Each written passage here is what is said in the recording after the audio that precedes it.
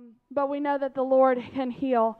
Um, I want to personally introduce to you this morning um, a, a gentleman who, by the way, was ready to come and speak this morning, regardless of Pastor not being here or not. So God kind of orchestrated things ahead of time, and He always looks out for us. But um, we, I have had the pleasure of having uh, the Temples with us this weekend. Um, Jay Temple is going to come and speak to you this morning. His wife Cece, uh, their lovely children Amelia and um, Jimmy have been with us. Jimmy consequently spoke with the youth on Friday night, and he en- empowered them and impacted them to do great things for um, God in 2015. And I know that Jay will do that as well. Um, pastor's known Jay for about 20 years or more. Uh, they've been real friends, um, close um, together, worked in ministry, done some things together. Um, currently, Jay serves with the um, a Native missions group that um, impacts um, all around the world. And um, he's going to come and share a few things with us this morning about how we can impact our world. So, will you give your um, attention to Brother Jay? Thank you very much.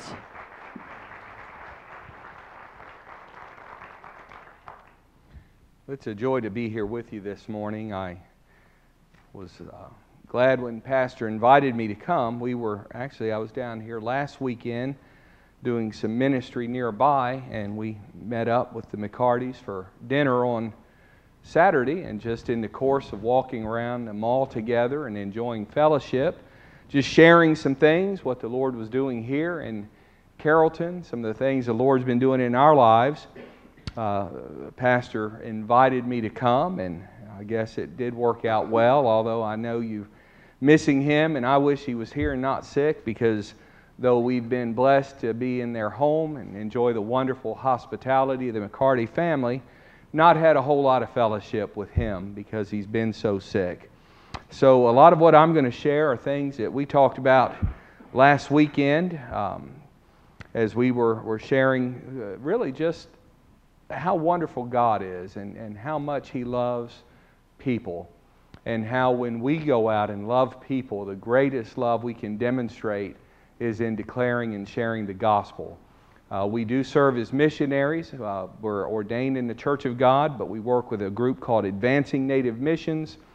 Um, I didn't come here to share about that. I wouldn't have time right now anyway, but there is a table out there. Please help yourself to a magazine or some newsletters. And if you'd like to know more, there's a place you can uh, just leave your address and we'll put you on a mailing list. We won't pester you, we won't bother you, won't overload you with stuff, but we would be glad uh, to share what God's doing and have you be a part of it through your prayers. We'll read from Proverbs chapter 2, verses 1 through 6. the scripture says, actually, I think we'll read to verse 9. Proverbs chapter 2, 1 through 9. My son, if thou wilt receive my words and hide my commandments with thee, so that thou incline thine ear unto wisdom and apply thine heart to understanding, yea, if thou criest after knowledge and liftest up thy voice for understanding, if thou seekest her as silver and searchest for her as for hid treasures, then shalt thou understand the fear of the Lord and find the knowledge of God. For the Lord giveth wisdom, out of his mouth cometh knowledge and understanding. He layeth up sound wisdom for the righteous. He is a buckler to them that walk uprightly. He keeps the paths of judgment and preserves the way of his saints. Then shalt thou understand righteousness and judgment and equity, yeah, every good path. Heavenly Father, I pray that you'll anoint this message today and bring it to life that you'll challenge your people, that you'll correct, Lord, and convict where necessary. But, Lord, that most of all, this will be just an encouragement, that this will be rich encouragement from you to people who love you and who are called according to your purposes. Lord, please keep me from being a hindrance to what you'd like to do. In Jesus' name we pray. Amen. Amen. If you looked at I guess it was the back of the bulletin, there was a word about evangelism, and that's the topic this morning. So we were walking through the mall last weekend. We were taking opportunities to, to talk to people, to, to share the gospel with them when we could, to be a witness when we couldn't, and, and there is a distinction between the two. Uh, we passed out some tracts, and Pastor said, just come and just share from your heart today some of the things that, that we've talked about. You see, this word evangelism can be defined this way evangelism is the spreading of the gospel by public preaching and by personal witness. Now, we know not everyone is called to preach in a formal vocational setting. That's the job of pastors and evangelists and missionaries, those who are called by God specifically for a position that gives a platform for public preaching. But every one of us is called to declare the gospel through personal witness.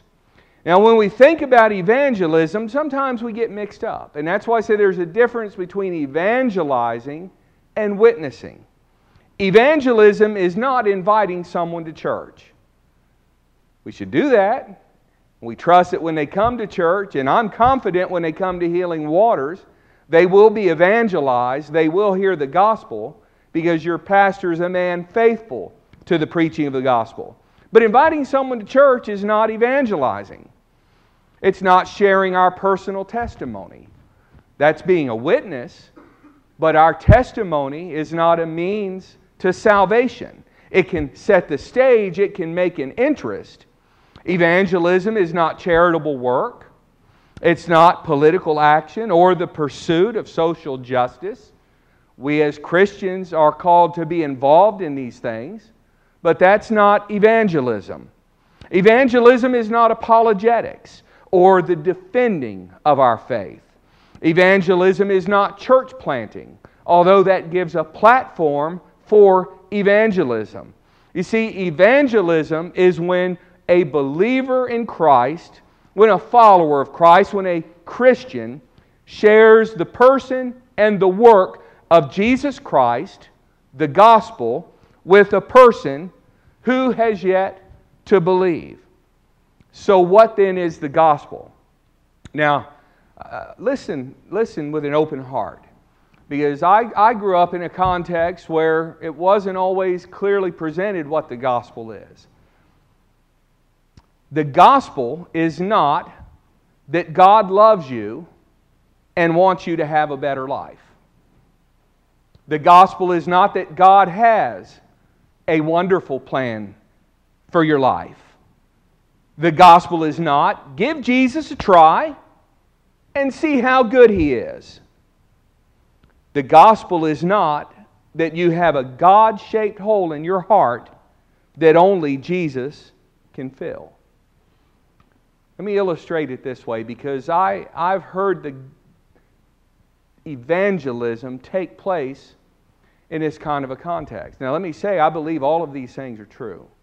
I believe that God does indeed have a wonderful life for people, but how He defines wonderful and how we define it is sometimes different. I believe that man is looking for something to worship, and God is the one, the only one, who is worthy of worship. Okay? But this is not the gospel. Troy, if you wouldn't mind, help me out. You can just stay seated there. Imagine we're on an airplane and kind of on those rows and feeling packed in, and the flight attendant comes up and says, Sir, I've got this for you. This is a parachute. Please put that on. This is going to make your ride better. It's going to make your seat more comfortable. It's going to make your food taste better. It's going to make you enjoy the in flight movie more. You are going to love this flight if you keep that parachute on. Now, I heard some of you giggling already. The longer he sits here, the more he's going to, we're going to giggle, especially if he's the only one wearing the parachute. And the longer he sits there, the heavier that thing's going to get, the more uncomfortable it's going to get. It's not going to make his food taste any better. That's a matter of the taste buds, not what we're carrying on our back. It's not going to make his flight movie any more comfortable or, or more enjoyable. That has nothing to do with what he's wearing. And eventually, he's going to start to get uncomfortable. And when he sees no one else is wearing the parachute, and it really hasn't changed anything, in fact, it's made things a little bit worse than they were, what's he going to do? He's going to want to take it off. And when I come back with a pot of hot coffee and accidentally spill it in his lap, he's going to curse me, take that thing off, and be done with it because he's going to think I lied. Thank you, brother. Appreciate the help. Now let's think about it this way. Flight attendant, and I come back, sir. Got a parachute for you, and I want you to put it on. See, we've got a problem. Both of the engines have collapsed, they failed. The pilot, in his anguish over this, has had a heart attack. In trying to help the pilot, the, the co pilot suffered a stroke. We're over the Atlantic, we're, we're, we're, we're losing fuel. There is nothing we can do. This flight is going down. Please put this parachute on because at some point, we don't know exactly when, but we're going to have to jump, and this is the only thing that will save you. What's he going to do? He's going to put it on, he's going to keep it on. He may still eat his meal, may not enjoy it as much as he would have. He may watch his movie and not really think about what he's watching because his mind's on one thing the, the, the plane's going down, and there's nothing we can do about it. And when I come by with that pot of hot coffee and I accidentally spill it all over him and he's feeling it burning him, he's going to look forward to the jump. See, that's what the gospel is all about. It's not about how we feel because let me tell you something. If you've been serving the Lord for any length of time, you already know it. Many are the afflictions of the righteous. There's a whole dimension of problems and suffering and trials that come for no other reason than we are following God.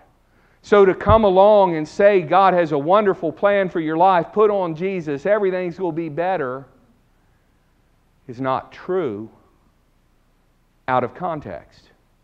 Because sometimes putting on Jesus makes things worse from an earthly perspective. But from an eternal perspective, we have a parachute on, and when the plane goes down, we're ready to jump. You see, the gospel is God's remedy for sin. The good news that we have forgiveness of sin through Jesus' death, through his burial, through his resurrection, according to 1 Corinthians 15. And the gospel is indeed good news. But good news never seems good without the bad. We all hear it. You want the good news the bad news first? Well, give me the bad news first. Why? Because we want something to end with on a positive note, and we know good news may not be good until we've heard what the bad is. And you see, the bad news is that all of us are under the wrath of God. Have you ever told a lie? What do we call a person that tells lies? Liar. You ever stolen anything? What do you call someone who steals? Thief. A stealer, a thief. Okay. You ever committed adultery? Wouldn't, wouldn't dream of it. Uh, love my wife too much. Jesus said, if you've so much as looked at another person with a lustful thought, you've already committed adultery in your heart. You ever murdered? No, wouldn't. Wouldn't, wouldn't want to hurt a person that way. Well, Jesus said, Scripture says, if you've hated your brother you've already murdered him in your heart. You see, God doesn't judge just actions, but He monitors and judges the thoughts and intents of the heart. You ever used His name lightly? An expletive, a curse word, just for fun? Oh my OMG, I think's the way you do it on the cell phones now. You're a blasphemer a sin so serious it warranted the death penalty and still does. Because Scripture says that the wages of sin is death. One lie, one paperclip taken from an employer. one OMG texted to a friend. And that's not all 10 of the commandments. And if we examine them this morning in spirit, if not in deed, we would find we have violated every one. And God, who is a just judge, a good judge, will one day judge us according our actions. And He's already made the pronouncement that death is warranted. Romans 6 23. So we need to be saved. And when we think of salvation, we think, well, God saves us from our sins. Well, He does break the curse and the bondage and the penalty for our sins. But when we're saved, we're being saved from God Himself. We're being saved from His just wrath because we're sinners.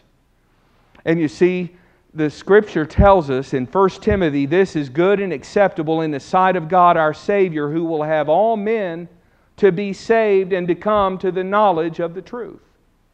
So, what saves us? Good things, going to church, paying tithes, giving offering, helping the poor, turning over a new leaf, will not save. While every eye is closed and every head bowed, coming to the altar will not save. Repeating the words of a sinner's prayer will not save. I knew a guy I grew up with at church in Culpeper, Virginia. Every revival, he came forward, repeated words, and walked away just as, as sinful and ugly as he came in because he felt a pressure to respond. But there was no repentance, there was no faith in God. Words will not save. Being dipped into the waters of baptism, writing your name on the rolls of church membership will not save. We need to be saved this morning.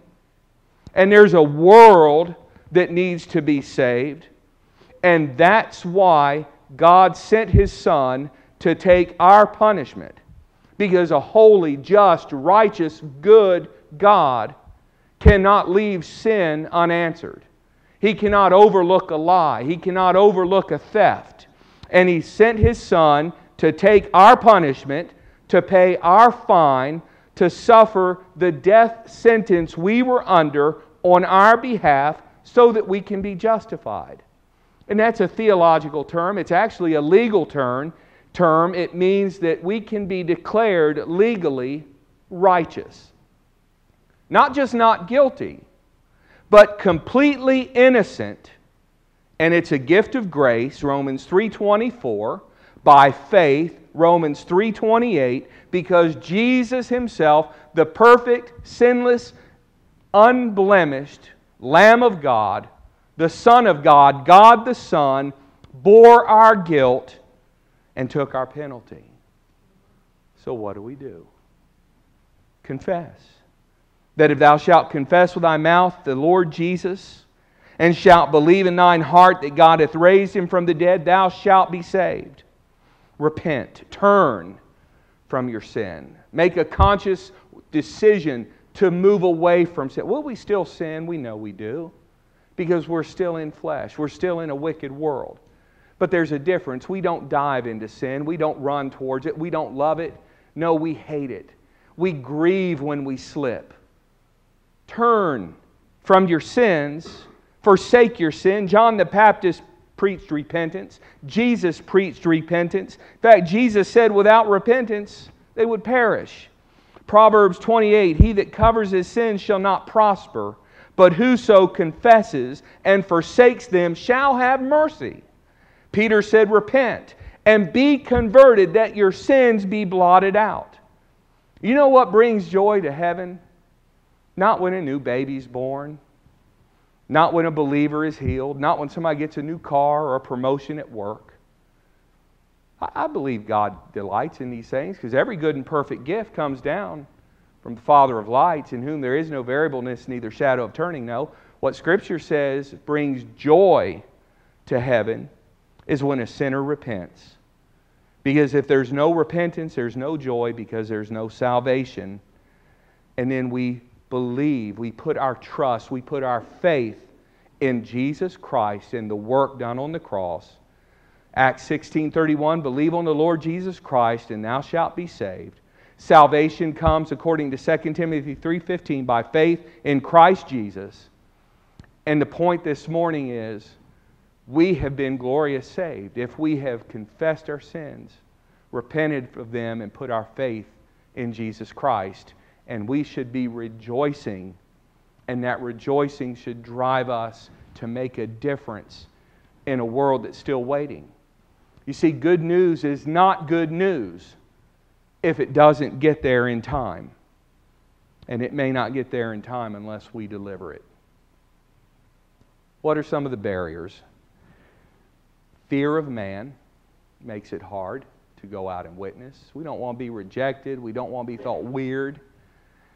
We don't want somebody to react in anger. We don't want to be asked a question maybe we're not prepared to answer. But, but, but the Lord said the fear of man is a snare. But he who trusts in the Lord will be exalted. Isaiah puts it this way I am he who comforts you. Who are you that you are afraid of a man who dies? You see, we're afraid, and, and part of that is because we really don't know where to start. So I'm going to give you just a simple model as we're going to be moving into to another part of the service uh, of how to start. Do like Jesus did. Begin with something natural. I was in front of the dentist office sitting in a, in a waiting bench. A fella sat down next to me, the usual small talk. Hey, you know, how you doing? Where are you from? Oh, I'm from Deerfield, Virginia, he said. Really? That was where that, that jet, that military plane from Massachusetts crashed just about a week ago, wasn't it? Yeah. Man, can you imagine that? Just like that. Pilot loses life. Have you ever thought about what's next? We started with something natural, uh, uh, something that happened in the news, and right there we made a switch to something spiritual. What's next? He said, Well, yeah, I think about it all the time. I'm not sure what's next. And it led into a conversation. And we talked about, well, there's, uh, there's heaven and there's a hell. You know, well, if, if you were, were standing before the Lord and, and He were to look at you, uh, what do you think? Are you a good person? Oh, yeah, I, I try to be. You ever told a lie? Well, yeah. What's it make you? He said, Well, it makes me a human. and it does. I said, No, if, if, I, if I lied to you, what would you call me? A liar? Thief? We, we went through the law. Because you see, the scripture says that the law is a schoolmaster that brings us to the knowledge of God. The, the, the scripture says that it's the law that reveals sin to us. And we went through the commandments. And he couldn't say he was a good person anymore.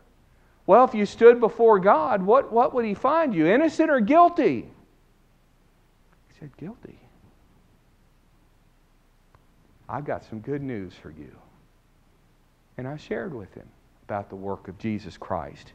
You see, we, we make witnessing into something that it's not meant to be. We, first of all, we confuse witnessing and evangelism, and we never get to the gospel. But it's only the gospel that will save. Now, I'm just going to show you a few quick things that can be used as, as icebreakers because I know it's hard. It's hard to get started. You're standing in line, McDonald's, Chick fil A, getting ready to pay for your meal. You ask the, the, the gal working the cash register, have you got change for a big bill? Now, everybody enjoyed that. I hope you'll take a look at it. Chris will show it to you later. It's got the gospel on the back. Or you walk up to somebody in the mall, did you get one of these yet? Now, you see what he did. Naturally, he put his hand out. Some people say, well, what is it? Well, it's uh, just a commemorative coin, got the Ten Commandments on it, got the gospel on the other side. Enjoy it, have fun. You go up to somebody in the mall, you've got two cards. Which one of these looks longest? You sure? Positive. Which one looks longest? Okay, it's an optical illusion. Nobody turns these down because they're thinking, man, I can't wait to show that to my friend. Make sure and read the back. It's a gospel tract. You see, there are all kinds of different ways to, to open the door to sharing the gospel and moving from something natural, a, a little aluminum coin, a piece of paper that, that's a funny kind of uh, joke. And there are other things here. We'll give you some on the way out. My son's going to be at the back door. There's billion, million dollar bills. There's wallets that you lay on the floor because it looks real and you open it. And the question is if this was a real wallet, what would you do? Would you keep it? Would you turn it in? It starts to convict the conscience. And you see, when you move from the natural to the spiritual, people are open. And maybe sometime we'll be able to come back and share some more in terms of the pragmatics of how to do this. But I want to close with this. You see, we don't do this because we're afraid, but yet Scripture tells us that the fear of man is a snare. We don't do this because we don't know where to start. Well, just start somewhere. What do you do for a living? And, and it doesn't matter. You can somehow turn it to truth. Sometimes we don't go out because we're not convinced that the gospel really works. But you see, the gospel is still the power of God that brings salvation to everyone who believes. I think a lot of times why we don't go out, and I want to say this gently, because we're not in right relationship with God ourselves.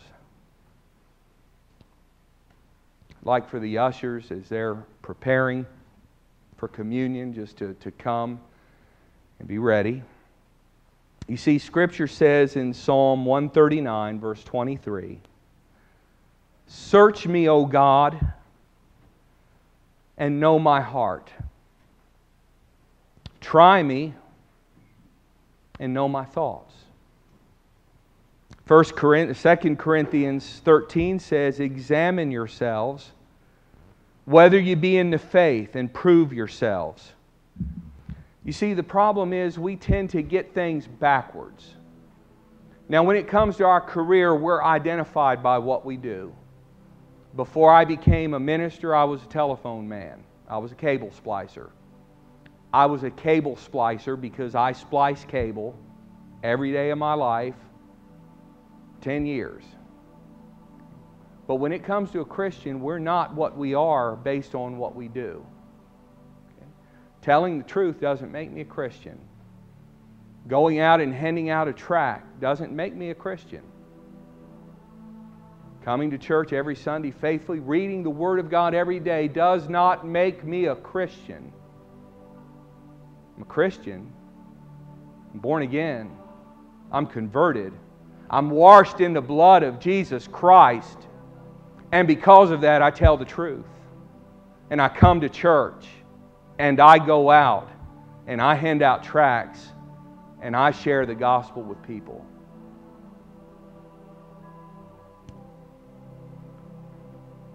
Scripture says the Lord Jesus, same night in which he was betrayed, took bread. And I invite you to, to come as you would normally uh, be served.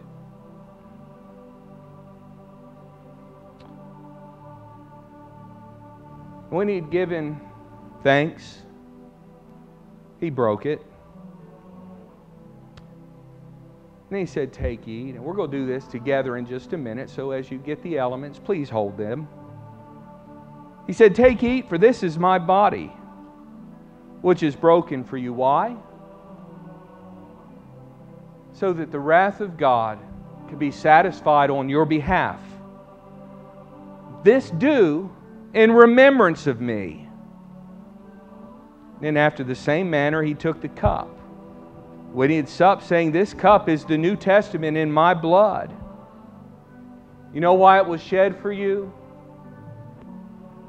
That your sins might be made white as snow, moved as far as the east is from the west, covered, blotted out, so that God, the great, the wise, the holy, the righteous judge, could make a pronouncement, not just of not guilty, but of absolutely, completely innocent. So, as oft as you drink it, do it in remembrance of me.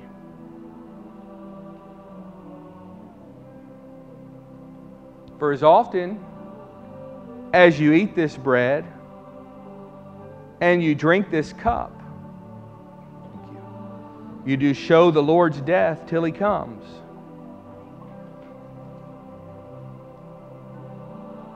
Now, here's the part I want you to challenge, challenge yourself with.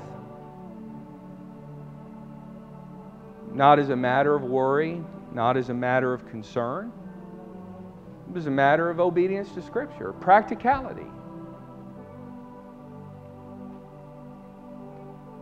Let a man examine himself, and so let him eat of that bread and drink of that cup.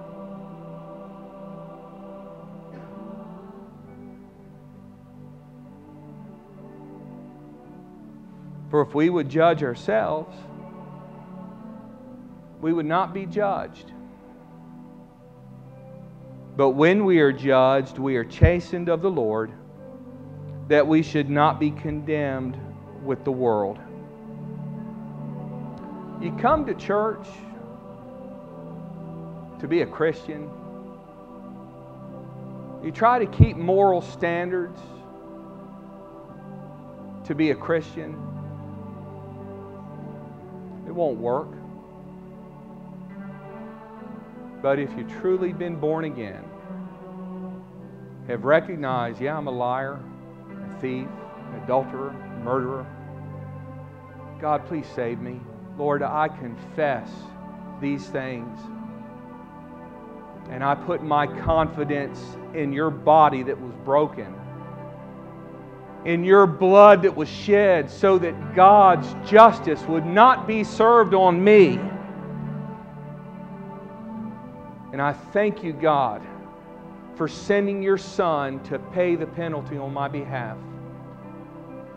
Lord, I, I renounce my sins. Help me to walk in truth and righteousness. And Lord, though I know I will stumble, keep me on the path following you.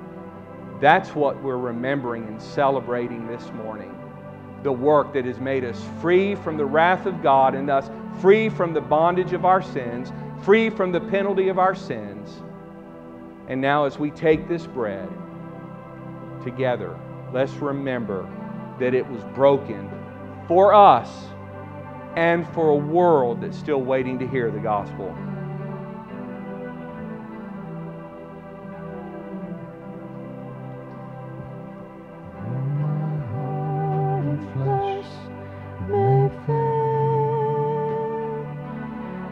And as we take the cup, we're remembering that we've been made clean by the word that was spoken to us and by the blood that was shed for us. And there's a world that doesn't know this yet, and they won't know until we tell them.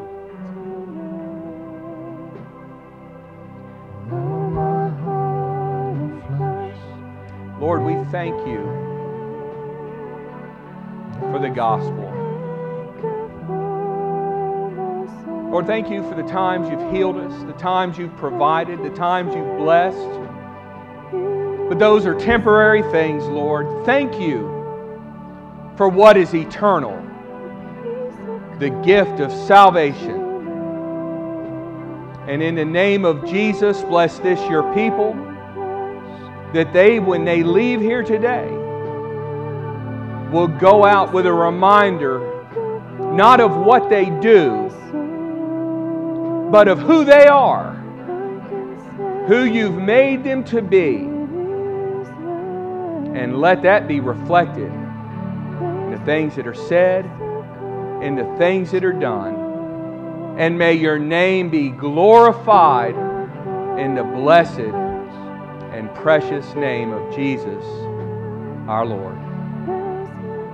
Amen. God bless you. Thank you for being in the house of the Lord this morning you want a tract, a sample to take with you, my son will be at the door and he'll be glad to give you one. And read it. Be encouraged by the gospel for yourself and then give it to somebody.